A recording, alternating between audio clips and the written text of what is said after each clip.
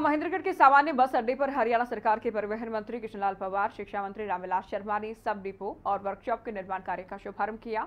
इस मौके पर कृष्णलाल पवार की ओर से कहा गया कि छह करोड़ उनासी लाख रुपए की राशि से सब डिपो का निर्माण किया जाना है। आज से ही सब डिपो के निर्माण का कार्य शुरू कर दिया जाएगा। इस मौके पर शिक्षा मंत्री रामविलास शर्मा ने कहा कि केंद्र और राज्य की बीजेपी सरकार जो कहती है वो करके दिखाती है।